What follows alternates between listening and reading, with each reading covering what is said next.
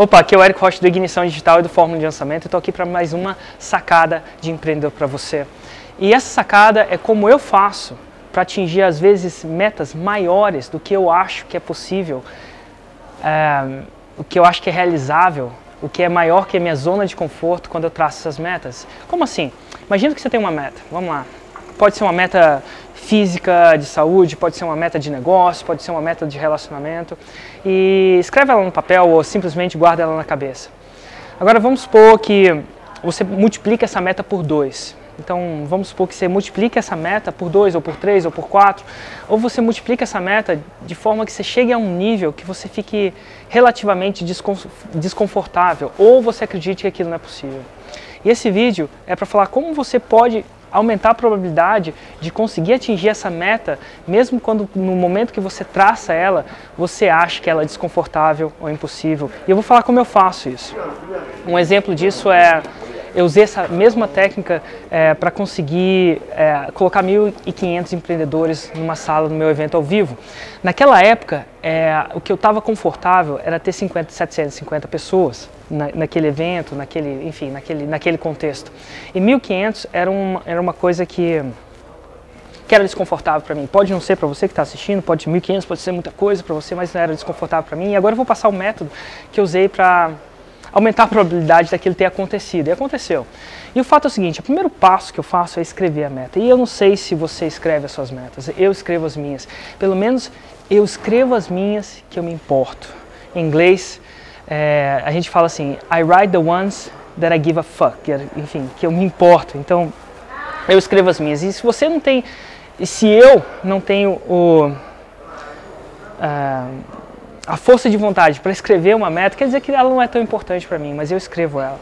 E aí, o que, que acontece? Mas escrever é importante? É importante, mas é só o primeiro passo, porque é o seguinte, a, gente só, o nosso cérebro, tá, pelo menos o meu, é muito preguiçoso. Nosso corpo, nosso cérebro é muito preguiçoso. Então, o que, que acontece? A gente tende só fazer o que é necessário para atingir a meta quando a gente realmente acredita que aquela meta vai acontecer. Quando você tem uma meta que você não realmente acredita que é possível, que você tem uma grande possibilidade, você tende a não fazer nada.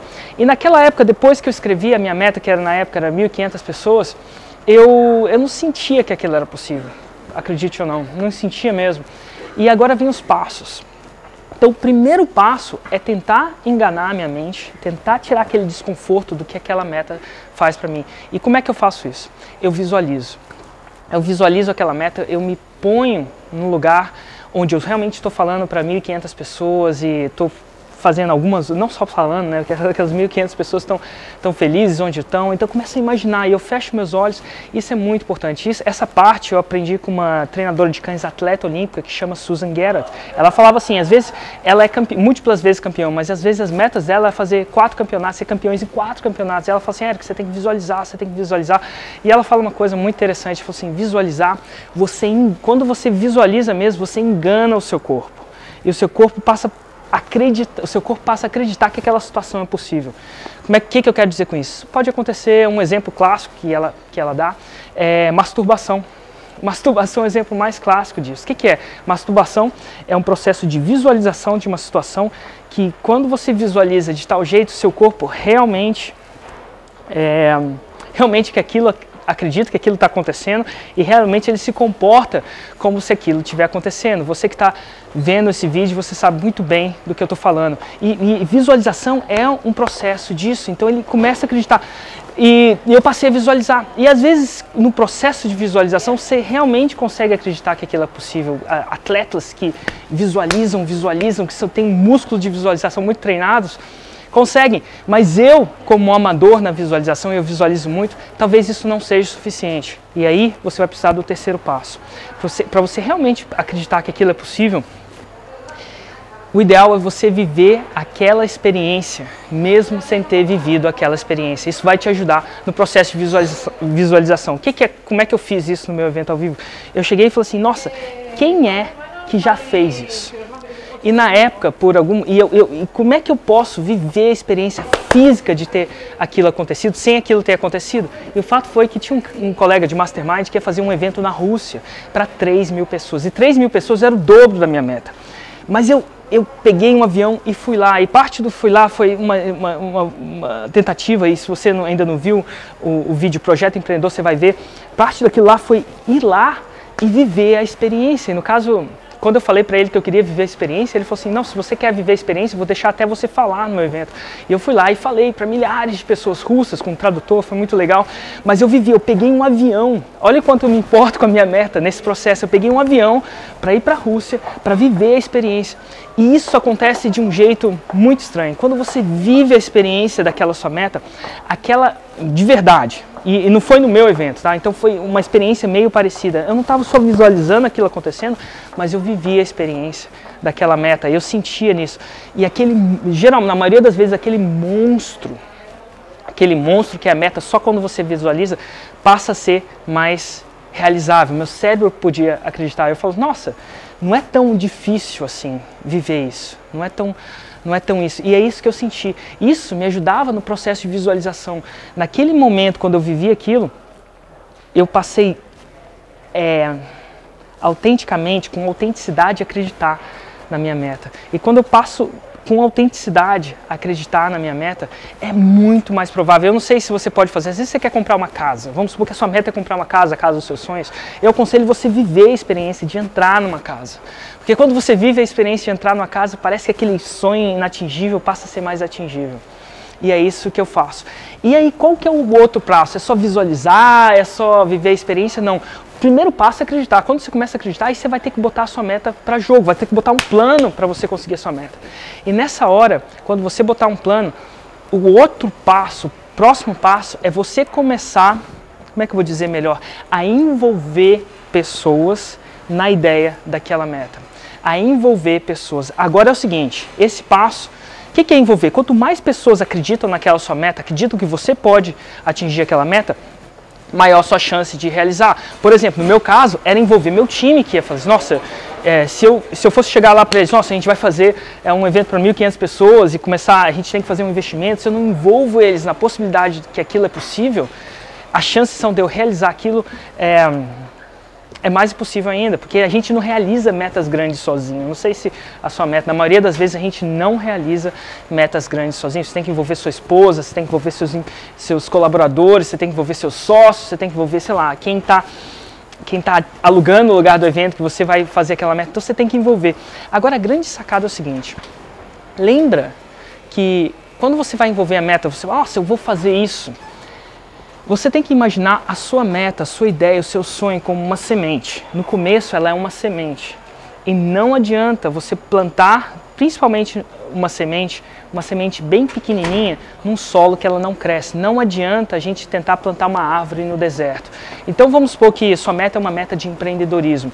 E as primeiras três pessoas que você vai envolver nessa meta são três pessoas que viveram a vida inteira de concurso público. Nada de errado com concurso público, mas é uma pessoa que viveu de concurso público a vida inteira, é, tendenciosamente não vai fomentar aquela semente de empreendedorismo.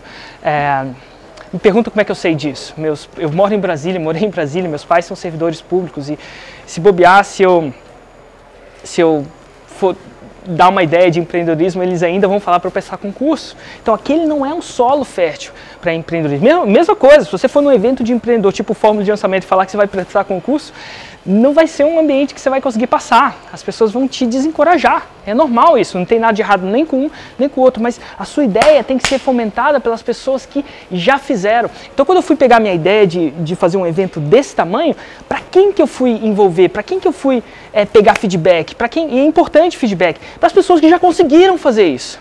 Porque se eu for tentar pegar feedback para as pessoas que nunca fizeram isso, adivinha, elas vão chegar e vão reforçar o fato de Érico, você não pode, Érico, você não conhece, você não consegue, Érico, você é arriscado, Érico, você é louco.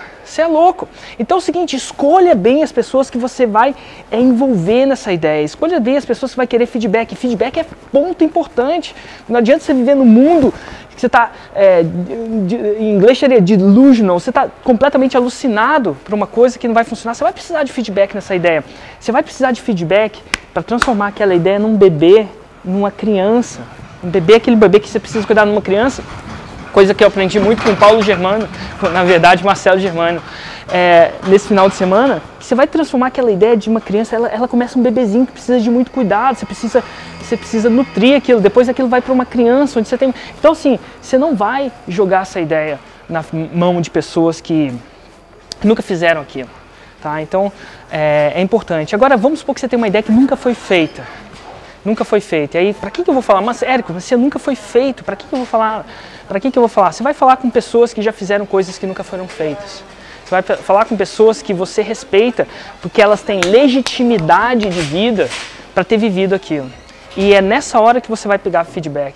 E depois disso tudo, é aí que o trabalho começa é aí que você vai botar a sua ideia para jogo. E sabe o que, que vai acontecer depois de todo esse trabalho? Se você se importar de escrever a sua ideia, se você se importar de viver a experiência da ideia antes, se você se importar de procurar as pessoas certas para bater, para fazer um brainstorm da sua ideia, se você se importar de ter um plano agora que você tem feedback para sua ideia, o que, que vai acontecer?